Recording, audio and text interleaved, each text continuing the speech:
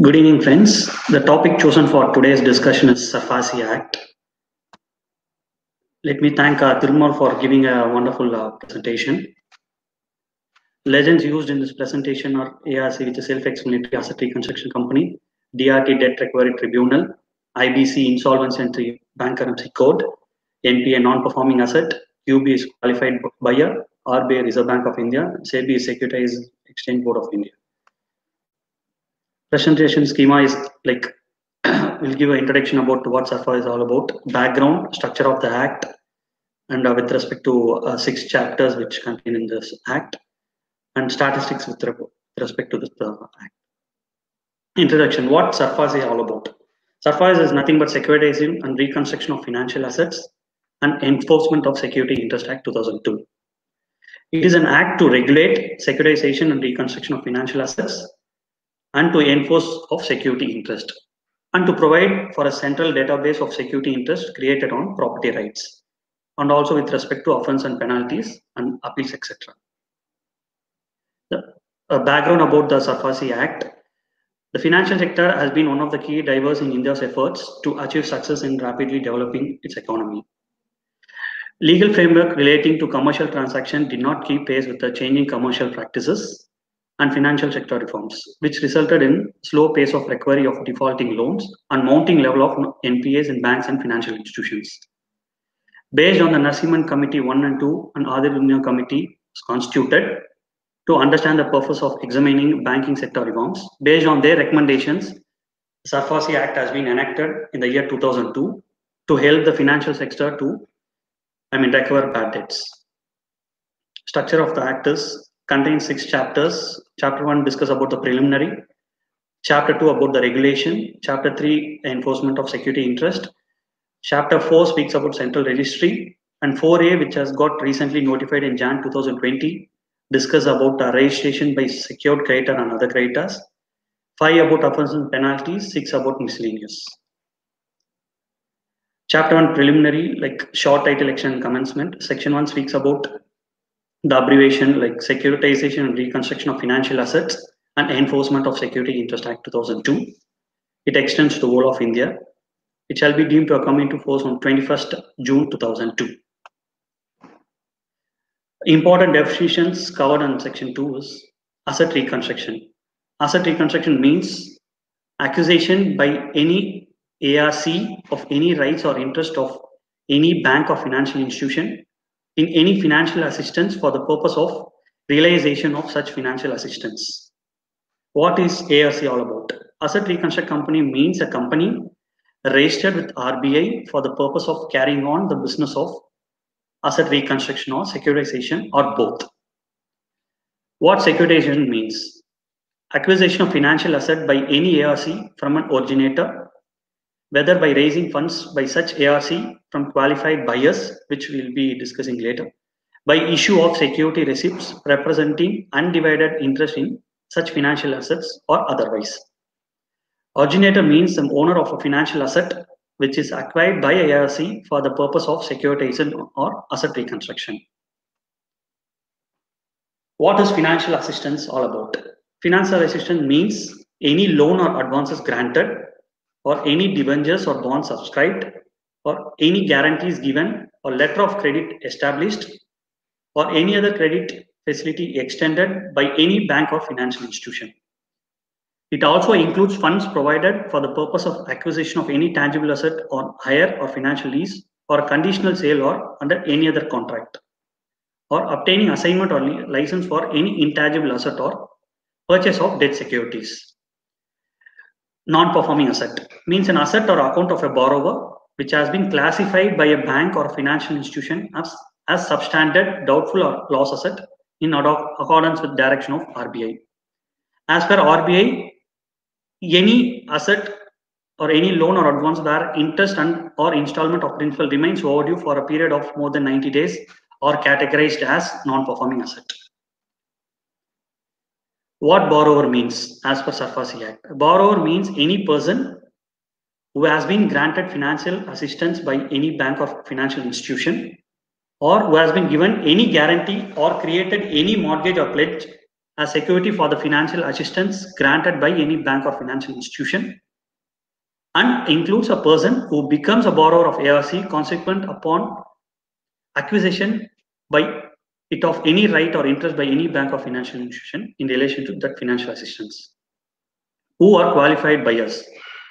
Qualified buyers means a financial institution, an insurance company, bank, state financial corporation, state industrial development corporation, trustee or registered ARC, or any financial management company making investment on behalf of mutual funds, or a foreign institutional investor registered under SEBI, any category of non-institutional investor as may be specified by the RBI, or any other body corporate as may be specified by SEBI. Chapter 2 discusses about regulation of securitization reconstruction. Section 3 speaks about registration of ARC. I mean, like uh, rules required for registration of any ARC to be floated. ARC shall carry or commence the business of reconstruction of securitization without obtaining a certificate of registration for RBI and without having a net worth fund of 100 crores. Every year shall make an application for registration to RBI. RBI shall grant registration if specific conditions are satisfied, which conditions will be discussed in further slides. RBI can re reject an application if conditions are not fulfilled. Opportunity of being here to be given. Every year shall obtain prior approval of RBI for any substantial change in its management, including appointment of any director on the board of directors or MD or CEO thereof, or change of location of its registered office or change in name. Condition for granting a ARC registration, roughly about six conditions are there. One, the ARC has not incurred any loss in any of the preceding financial year. That is one of the important conditions to be met for obtaining registration. ARC has made adequate arrangements for realization of financial assets acquired for the purpose of securitization and shall be able to pay periodical return and redeem on respective due dates, which means that a commitment of ARC to make good or give a returns on the prescribed redemption date. Director of ARC have adequate professional experience in matter of relating to finance, securitization, and reconstruction. This is again one of the paramount important condition to be met. Any of the director has not been convicted by any offense involving moral turpitude. Sponsor of an ARC is a fit and proper person in accordance with the criteria as may be specified in the guidelines.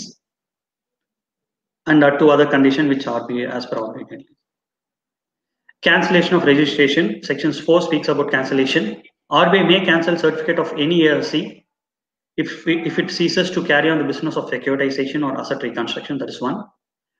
Ceases to receive or hold any investment from a qualified buyer. Has failed to comply with any condition of registration. The above five conditions which we have mentioned. Failed to comply with any directions issued by RBI under the provisions of this Act. Fails to maintain account as per law or RBI order failed to submit or offer for inspection in books of accounts, and fail to obtain prior approval of RBI for change in management. ARC may prefer an appeal to a central government within 30 days from the commencement of order of cancellation. Section 5 speaks about acquisition of rights or interest in financial asset. RBA ARC may acquire financial asset of any bank or financial institution, one by issuing a debenture or bond or any other security in the name of debenture, or by entering into agreement with such bank or financial institution. After such acquisition of ARC shall be deemed to be a lender in relation to any rights, interest, documents, litigation, the ARC shall take the place of bank or financial institution. Section 5A speaks about the transfer of pending applications. If any financial asset of a borrower acquired by ARC comprise of secure debts of more than one banking or financial institution, and for recovery of which bank or financial institution has filed application before two or more DRT, debt recovery tribunals, at the discretion of ARC can select all the pending application to any of the one DRTs as it deems fit.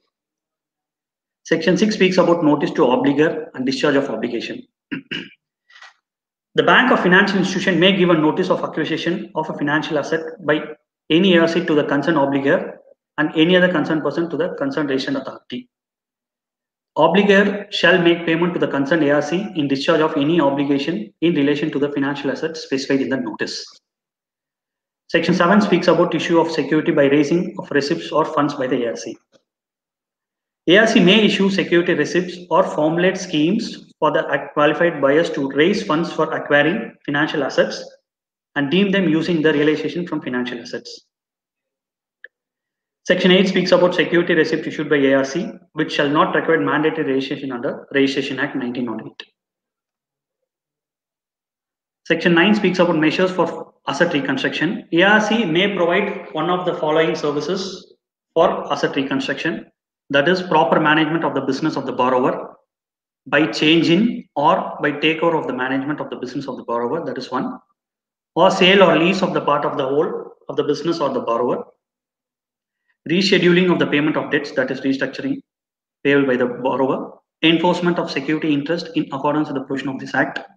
Settlement of dues payable by the borrower. Taking possession of secured assets in accordance with the provisions of this act. Conversion of any portion of debt into shares of a borrowing company. Other functions of ARCs ARC may act as an agent of the financial institution or bank, act as a manager for enforcing security interest on such fees as may be mutually agreed upon by, between the parties, act as a receiver if appointment by any court or tribunal.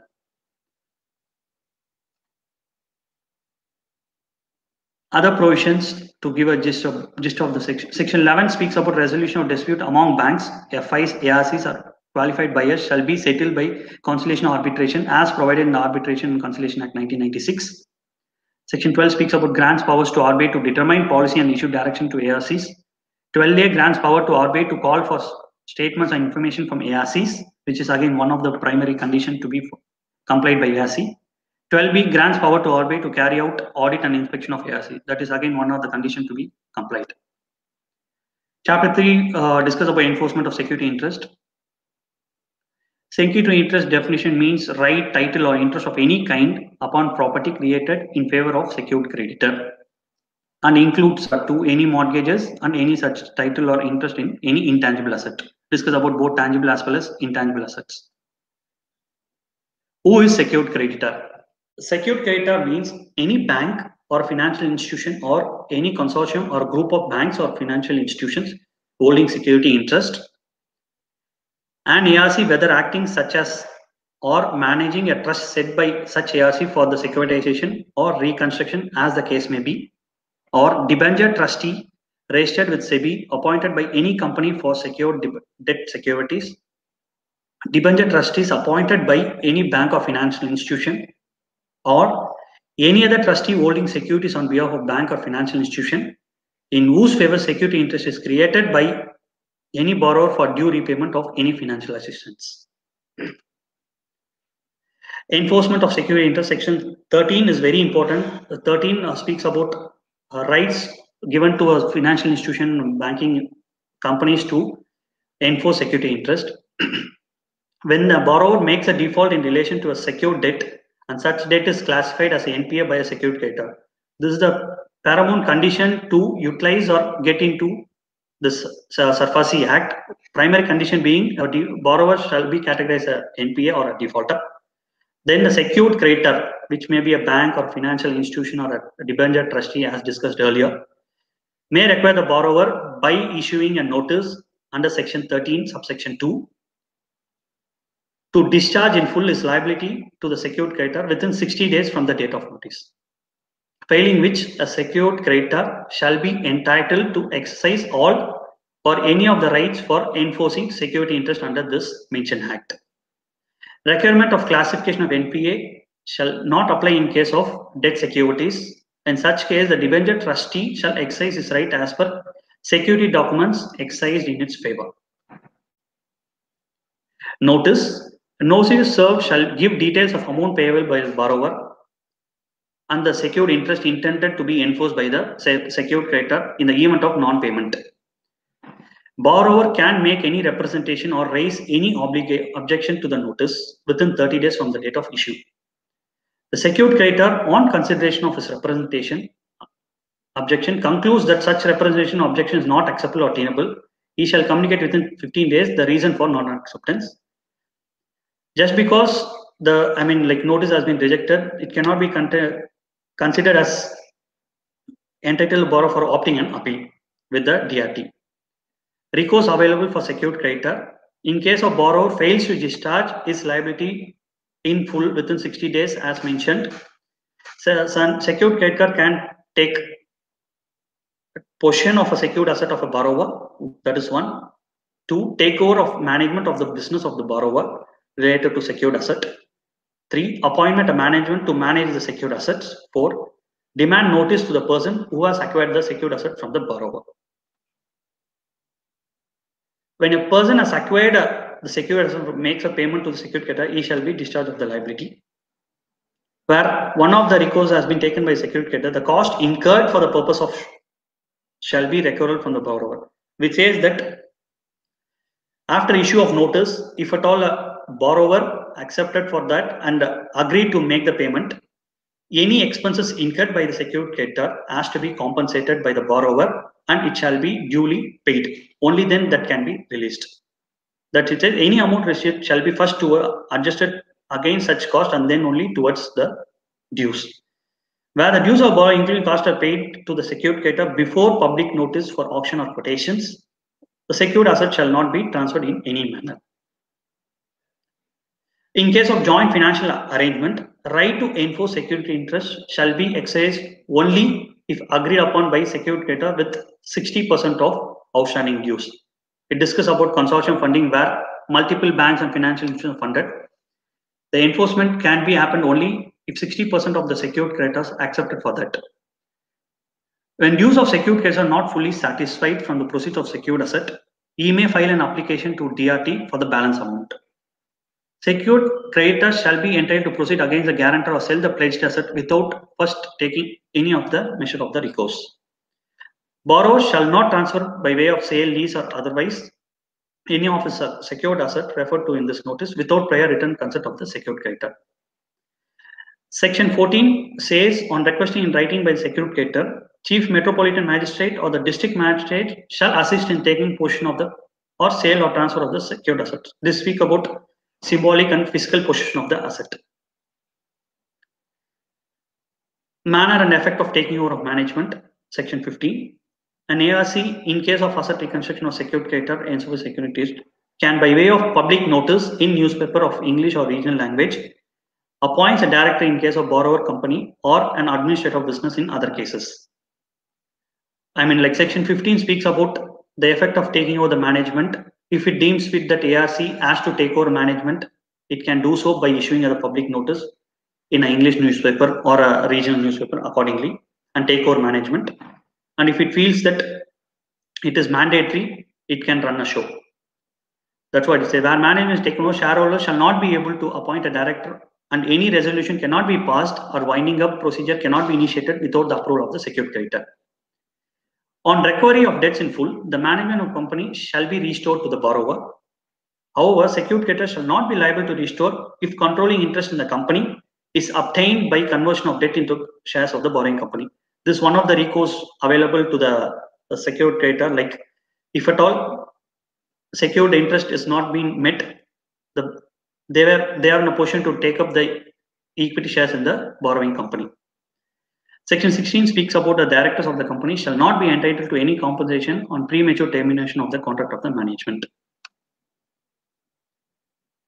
Section 17 speaks about any person, including borrower, agreed by any of the measures taken by the secured creditor, can make an application against it to the DRT within 45 days. Section 18 speaks any person aggrieved by the order of DRT may prefer an appeal to a debt recovery appellate tribunal within 30 days from the receipt of order from DRT and no appeal shall be entertained unless the borrower has deposited with the appellate tribunal 50% of amount of debt due from him as claimed by the security creditor. So, I mean, uh, generally, when any case being referred to DRT, a feasible solution will be arrived. If at all borrower has a grievance towards a secured creditor on the lack of compliance, DRT after going through the entire procedure, if deemed fits that sundry creditor, like a secured creditor made default or uh, missed out to follow the procedure, consequence will be faced, or else DRT will give a justify. I mean, like a, uh, in favor of secured creditor. Section 19 speaks about if the DRT holds a measure by secured creditor were not in accordance with the act, the borrower shall be entitled to compensation. Chapter 4 discuss about central registry. It is mandated that provision uh, central government to set up a central registry to record securitization and reconstruction of financial asset and creation of security interest. The particulars of every transaction of securitization, asset reconstruction, or creation of security interest shall be filed with the central registry. ARC and security creditors shall file with the central register any modification of terms and condition of the security interest. ARC and sundry creditors, I mean secured creditors shall report to the central registry payment in full or satisfaction of any security within 30 days. This recently, I mean, notified chapter uh, 4A, registration of secured creditors and other creditors. It will be coming to effect from 24 January 2020. Any creditor, including sec uh, secured creditor, may file particulars of transaction of creation, modification, satisfaction of any security interest with the central registry. However, creditor other than a secured creditor shall not be entitled to exercise any right of enforcement of security interest under this act. Registration will constitute a public notice and it is deemed as a public notice and such registered interest shall have a priority over subsequent interest being created over the property. Every authority or officer of the government entrusted with recovery of taxes or other dues and from issuing attachment order shall file with the registrar the attachment order and other particulars of the assessee into the central registry. Secured creditor shall not be entitled to exercise security interest unless registered with the central registry. So it is paramount, important and mandatory for the secured creditors to register under central registry without which they will not be in a position to exercise any security interest under this particular act. Debts due to any subject shall be paid in priority over all other debts and all revenue taxes, ceases and other taxes payable to government. So this is one again very important uh, to be noted like any debt to be paid to security, uh, I mean secured creditor given priority and it has to be paid mandatorily before before meeting any liability or uh, taxes due to the government. In a case with pending IBC proceeding, the priority shall be as per the provisions of this code. IBC is nothing but insolvency and bankruptcy code. Offences speaks about if any person contravenes an attempt to contravene or abet the contravention of the provision of this act, they will be subject to imprisonment term exceeding may not exceed one year or fine or with both. And with respect to penalty, where any ARC or any person fails to comply with any direction issued by the RBI under this act, adjudicating authority may, by an order, impose on such company a penalty in default, a penalty not exceeding 1 crore rupees or twice the amount involved and a further penalty of 1 lakh per day until such failure continues. So it is very important to comply under the standard. Any small default made will be a costly affair like a penalty exceeding up to 1 crore and a daily penalty of 1 lakh per day on filing continue. Non-applicability of the section. The provision of this act shall not be applied to a lien or any goods, money or security given, a pledge of movable items, the creation of any security in any aircraft, creation of security interest in any vessel, any right of unpaid seller.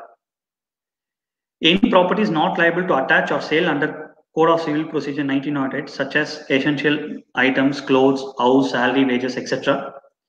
Any security interest created in agri land, invariably agri land is not applicable under SARFAESI uh, financial institution or secured creditor cannot take agri land. Any security interest for securing repayment of any financial asset not exceeding 1 lakh. And any case in which the amount due is less than 20% of the principal amount and interest thereon. So from this, it is very, evident that this act is applicable only for secured funding. Just to give a comparison between what SARFAESI and IBC is all about, enforceability by banks, financial institutions, and secured creditors, including debenture trustees. IBC route only financial institution, operational creditor, and corporate creditors. Involvement of court and tribunals, no involvement. It has been directly done by DRT. Here it is approved by NCLT. Mechanism enforcement as per the Act.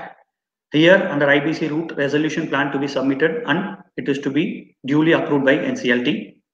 Appropriateness medium and large borrowers of banks and financial institutions. IBC route only large corporate borrowers. Prerequisite debt to be classified as NPA. As I said, it should be a non-performing asset under IBC route, it is default is made. To give a rough data uh, pertaining to financially 1819, effective net recovery rate is 14.5% under SARFAESI route and under IBC route it is 42.5%. Use of route that is 2,48,312 case has been ration under SARFAESI amounting to 2,89,000 crores. Under IBC route it is 1,135 cases amounting to 1,66,000 crores. So it, it is a volume game under SARFAESI, the volume is high. Under IBC, it is a very minimal volume, but quantity is high. Some statistics about the Act recovery of stressed asset improved during 1819, propelled by IBC. IBC contributed to more than half of the total amount recovered. Though SARFAESI Act is in place since 2012, after introduction of IBC, all large corporate debts are being recovered via that route. However, recovery rates yielded by major residual mechanism, except Lok Adalats, declined in 1819, especially through the SARFAESI mechanism. If you see the rough figure comparison between 17 18, in the SARFAESI Act, number of cases registered is 91,330, amount involved is 81,000 crores, and recovery is 26,000 crores. Against IBC, 704 crores, amount involved is 9,929 crores where the recovery rate for 1819 is very huge. If, for 1718, if you see the recovery rate is 32% and 49%, where in 1819 it is hardly 14%, 14.5% under SARFAESI Act. Under IBC, it is 42.5%. So details of financial assets securitized by ARCs. Book value of asset acquired is 3,88,069 crores Security receipt issued by ARC is 1,46,000 crores and uh, security report receipts outstanding is 1,14,615 crores. If you see the comparison figure, sale of ARC as percentage of gross NPA at the beginning of the year, like more than 50% of the public sector uh, banks or NPAs are being uh, routed through SARFAESI Act, which is evident from the figure. So in 2018-19, it is more than 50% uh, pertaining to public sector banks. And uh, all uh, scheduled commercial banks, it is ranging from 10 to 20%. Thank you so much for listening to. If there is any query, send me a mail. We can able to address it. Thank you.